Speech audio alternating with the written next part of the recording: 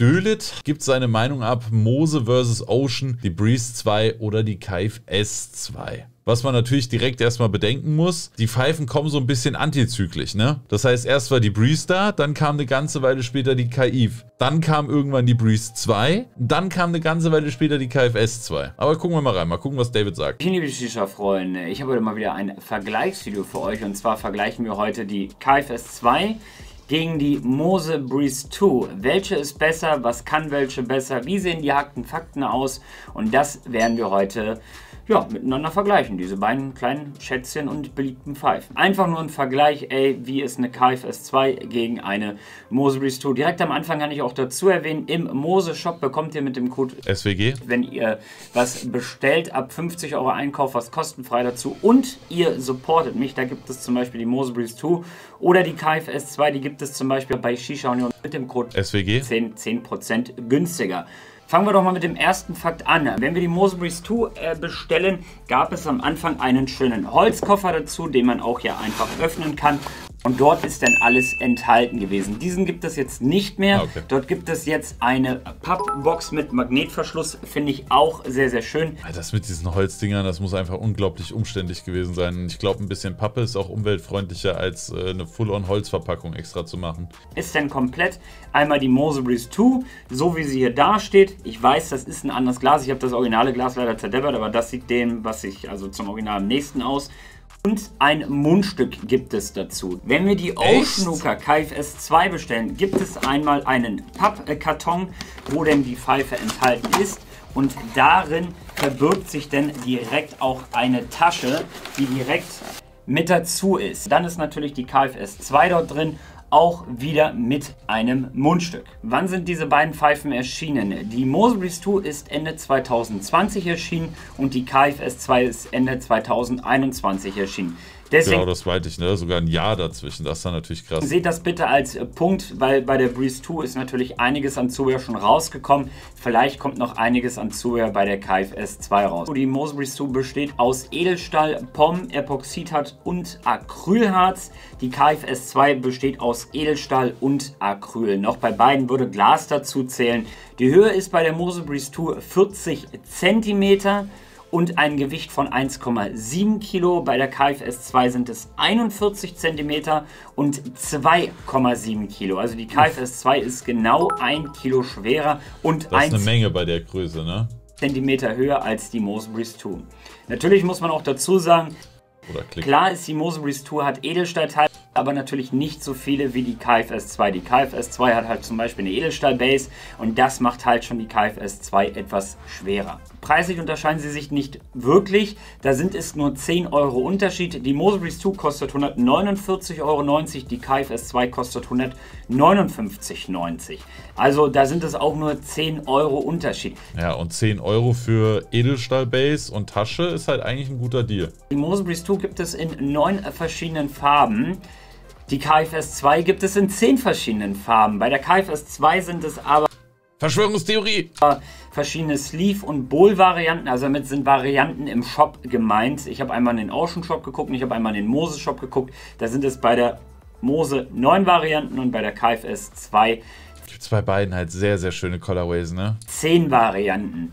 Aber man muss natürlich dazu sagen, die Mosebreeze 2, da gibt es schon von vielen Fremdfirmen, von vielen anderen Firmen. Oh ja, das stimmt. Mir fällt jetzt lustigerweise wirklich keine ein. Ähm, da gibt es natürlich schon viele verschiedene. Hydrosmoke zum Beispiel macht Sleeve für die Mosebreeze 2. Da gibt es schon verschiedene äh, Sleeve-Varianten. Das ist zum Beispiel dieses Drachen-Sleeve, ne, wo dann der Rauch auch wirklich aus dem Drache rauskommt. Also da gibt es schon echt wilde Sachen mittlerweile. Natürlich bei der KFS 2 noch nicht so populär, weil die KFS 2 gibt es halt nur mal kürzer.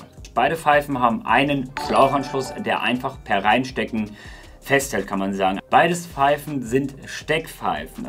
Beide besitzen einen Diffusor, der abschraubbar und andersrum draufschraubbar ist, dass man ihn ohne Diffusor raucht, aber keinen verstellbaren Diffusor. Beide haben auch kein verstellbares Tauchrohr. Und sie haben auch beide keinen verstellbaren Durchzug. Beide besitzen außerdem auch ein Closed Chamber System, um den alten Rauch komplett auszupusten. Vom Reinigungsaufwand sind beide komplett zerlegbar. Wobei man da sagen muss, das ist bei der Breeze natürlich weniger nervig. Dafür hat die Ocean halt auch das coole System, das du umstellen kannst. Ist also auch wieder für manche Leute ein Vorteil und für andere ein Nachteil. Und da seht ihr jetzt einfach mal im Vergleich die Mose Breeze 2 gegen die KFS 2. Die KFS 2 hat ein paar Teile mehr, aber das liegt auch einfach an einem System, was die KFS 2 besitzt. Und zwar der Besonderheit ist, dass die KFS 2 in dem Sinne zwei, ich sage immer zweieinhalb Blow-Offs hat. Und zwar können ja, wir Mitte. einfach am Teller drehen und damit verstellen wir den Blow-Off. Werden wir auch gleich beim Rauchen nochmal sehen. Bei der Mose Breeze 2 haben wir von Werk aus vier Blow-Offs zum Verstellen. Es sind natürlich auch noch mehr möglich. Wahrscheinlich sind es auch fünf oder sechs. Und durch verschiedene Sleeve-Varianten sind es dann natürlich noch mehr. Müsste man natürlich auch bei der KFS 2 sehen. Wenn dort mal verschiedene Sleeves mit Löchern oder sowas rauskommt, zum Beispiel von Hydrosmoke, dann würde da ja auch noch mehr Blow-Offs dazukommen. Aber von Werk aus zwei bzw. zweieinhalb und vier Blow-Offs. Weitere Besonderheiten bei der Mose Breeze 2 ist, dass es auch eine weiße und auch eine Edelstahl-Base einzeln zu kaufen gibt. Die kann man sich einzeln im Mose Store ordern. Eine Besonderheit der KFS 2 ist, dass die Sleeves der KFS, also der 1er, auch an die 2er passen. Das geht bei der Mose nämlich nicht. Ich glaube, die passen drauf, aber nicht perfekt und du hast dann natürlich nicht die Blow-Off-Möglichkeiten. Also könntest dann trotzdem nur den Blower von unten benutzen. Sowie natürlich auch die Tasche, die im Lieferumfang enthalten ist. Das ist natürlich auch eine Besonderheit. Und es gibt bestimmt Leute, denen genau das wichtig ist. Safe. Noch eine Besonderheit ist, dass es natürlich auch die KIF 2 gibt. Das heißt, man, es gibt diese auch in groß. Das gibt es zum Beispiel bei der Mose Breeze 2 nicht. Ansonsten würde ich sagen, haben wir jetzt eigentlich alle harten Fakten erstmal durch und Rauch, würde sagen, dass Rauch, wir jetzt Rauch, zu dem spannenden Teil kommen und das ist nämlich das Rauchen. Wir werden beide Pfeifen gleichzeitig anmachen und natürlich auch gleichzeitig rauchen. Und so, Freunde, da sind wir wieder zurück. Beide Pfeifen sind an. Das heißt, bei der KIF hast du Schlauch und Tasche mit dabei. Was du bei der Breeze nicht hast. Jetzt vergleichen wir mal die Pfeifen gegeneinander beim Rauchen. Was ich als erstes dazu sagen kann, ist, dass das KIF-Mundstück ein Stückchen länger ist. Das sind so 5 cm wahrscheinlich länger. Das ist auch wieder ein Vor- und Nachteil. Ich finde das KIF Standard-Mundstück von der Länge her besser als das kurze Mose. Ich finde aber, wenn du dir die Verlängerung bei dem Mose-Mundstück kaufst, die Länge wiederum besser als bei der KFS. Also ist auch wieder eine Frage von Präferenz. Bei der KIF musst du dir aber immerhin nichts dazu kaufen, ne?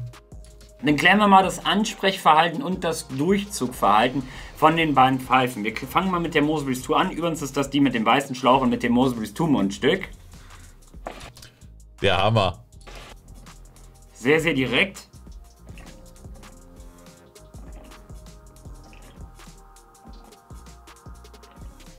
Ist identisch. Ist eins zu eins identisch. Also ich spüre da. Also wenn, dann müsste die Breeze ein kleines bisschen schlechter sein, weil sie einen Zentimeter höher ist oder so. Weil der Kopfadapter ist dann bei diese. Die sind fast gleich hoch. Das heißt, dass der Weg ist derselbe, also wird das auch sehr identisch sein. Einen Unterschied, das wäre vielleicht mit einem Gerät vielleicht 0,1% Unterschied, aber es ist eigentlich nicht spürbar. Die sprechen beide direkt an. Deswegen, bei den zwei Pfeifen kannst du höchstens sagen, willst du den Blow-Off umstellen oder willst du mehr Möglichkeiten zum Umbauen haben? Das ist vielleicht ein Unterschied, ja. Aber ansonsten ist bei den beiden Pfeifen halt nun mal sehr, sehr viel Geschmackssache. Und wenn du sagst, dir gefällt das mit dem etwas kleineren Teller von der Breeze besser, dann ist das so. Aber das kann halt bei anderen Leuten wieder komplett anders aussehen. Ne? Das ist einfach Geschmackssache. Die Grammzahl abmessen müssen und die Höhe exakt gleich bei beiden, damit du da auf den Durchzug schließen kannst. Und weil könnte ja auch einfach sein, dass der eine Kopf jetzt ein bisschen anders ist als der andere und dann ist das schon wieder schwierig zu sagen. Mosebreeze 2 ist etwas, aber wirklich ganz leicht. Das ist vielleicht ein Prozent ist die leichter vom Durchzug. Am besten den Kopf wechseln. Ja, das wäre ein guter Weg gewesen, Gary. Mit demselben Kopf beide probieren. Dann natürlich das Besondere bei den beiden Pfeifen sind natürlich auch die Blow-Offs. Fangen wir mal mit der KFS 2 an. Die hat natürlich zwei Blow-Offs, zweieinhalb in dem Sinne, weil man ja den Teller auch auf eine Mittelstellung stellen kann. Man hat einmal den Blow-Off, einfach klassisch aus dem Teller, so wie es mittlerweile einige Pfeifen haben. Da war die Mosebys Tour sogar einer der ersten auf dem Markt mit. Aber hat die KFS 2 auch einen Tellerblauf und wenn man am Teller dreht, pustet sie nach unten hin aus. Man muss nichts umschrauben, man muss nichts umstecken. Einfach während des Rauchens. Nice. Ich finde mal, das beste Beispiel ist, man zieht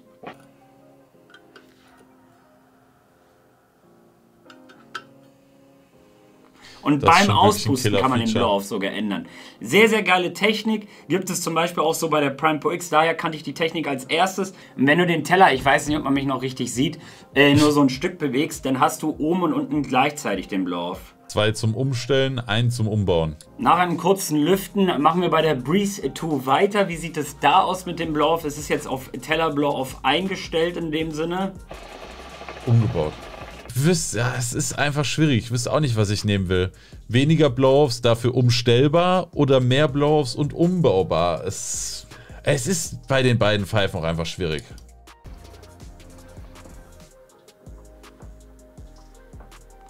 Und da haben wir natürlich auch diesen Teller Blow-Off. Natürlich gibt es bei der Mosbury Store auch noch drei weitere Blow-Offs. Einmal von der Base nach oben, dann gibt es noch vom Teller nach unten und natürlich noch zu guter Letzt vom Teller nach oben. In dem Sinne Richtung Kopf. Das sieht in dem Sinne aus, als würde man den Kopf kühlen. Wie gesagt, mit anderen Sleeves sind auch noch mehr Blow-Offs möglich, die es von anderen Firmen gibt.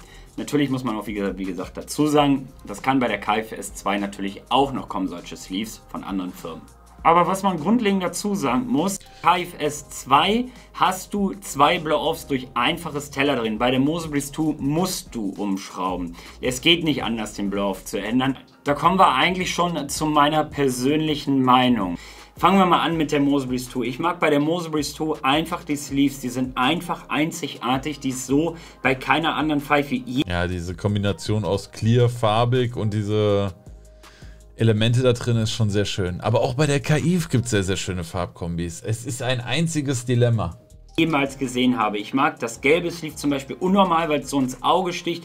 Ich mag auch das lilane, das Ich mag Gelb zum Beispiel gar nicht, ne? Auch da ist halt einfach wieder Geschmackssache. Der eine mag das, der andere mag das. Ist einfach so. rote, das blaue, da sieht jedes Sleeve eigentlich wirklich geil aus. Natürlich mag ich auch bei der Breeze 2 diese Blau-Varianten, aber da muss man halt natürlich dazu sagen, wie oft schraubt man sie um. Im Endeffekt lässt man sie auf dem Teller blau.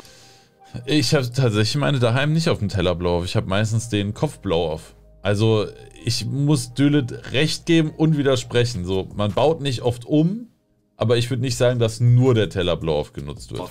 Ich mag einfach Und selbst wenn, man hat halt die Möglichkeit dazu. aber dieses Breeze 2 Design im Gesamten macht sie zu einer der schönsten kleinen Pfeifen. Ich mag bei der KFS 2 einfach dieses Einfachheit, den Blow zu verstellen, einfach nur am Teller drehen und fertig ist der Lachs. Du musst nichts viel Fertig ist der Lachs. Rumschrauben oder rumhantieren, wie zum Beispiel Breeze 2, dass es eigentlich komplett Edelstahl ist. In dem Sinne komplett ist ja die Mose Breeze 2 auch, aber wir haben halt hier eine Edelstahl-Base, das macht es etwas hochwertiger. Zusätzlich mag ich bei der KFS 2 auch, dass direkt eine Reisetasche dazu ist. Bei der Mose Breeze 2 müsste man etwas aufpassen beim Transportieren. Es gibt so bei beiden Pfeifen Muss ich aber sagen, ich habe hier 1000 Reisetaschen rumliegen und ich benutze die nie. Also, selbst wenn ich die Taschen habe, ist es, glaube ich, immer noch Typen, Mensch, ab, artabhängig, wie auch immer, ob man sowas macht oder nicht. Ich stelle die Pfeifen meistens auf Rück- Rücksitz, schnall die an, stelle die in den Fußraum. Sag, sag ich mal, vom Rauchtechnischen her ist es eigentlich identisch. Nur findet man das mit dem Teller geil, das Umschrauben, also einfach nur drehen, mag man hier vielleicht das Umschrauben, mag man vielleicht hier die knalligen Farben mehr, aber mag hier, dass das mehr eine Edelstahl-Base ist oder so. Vielleicht gefallen einem hier die Farben mehr oder so. Ich finde persönlich, man muss es irgendwo selber wissen, was man persönlich designlich mehr mag. Man muss es irgendwo cool selber entscheiden. Genauso auch wie bei den Mundstücken. Mag man das KFS 2 Mundstück, so wie es aussieht, das hat übrigens auch Cuts drin, oder mag man das Mosebreeze 2 Mundstück? Gewicht her, übrigens auch ist das KFS 2 Mundstück auch ein bisschen schwerer, es ist ja auch ein bisschen proppiger, es ist nicht scharfkantig, es fühlt sich beides identisch an. Und es sind beides Top-Pfeifen wirklich. Man muss natürlich auch dazu sagen, ich finde, dass die KFS 2 zu ihrem Release etwas unterging. So, also sie kam raus so und es ist irgendwie, war die KIF die normale bekannter. So, ich dachte, okay, krass, das wird richtig schallern mit der KIF S2, aber sie ging irgendwie etwas unter. Es ist eine Top-Pfeife. Und die Mosbury 2 ist auch eine Top-Pfeife. Im Endeffekt macht es bitte vom Design aus. Ansonsten hoffe ich, es hat euch gefallen. Ich bin sehr gespannt, was der Nachfolger von der Breeze ist. Ob es die Breeze 3 denn ist. Wird sehr, sehr lustig mit meiner Aussprache denn.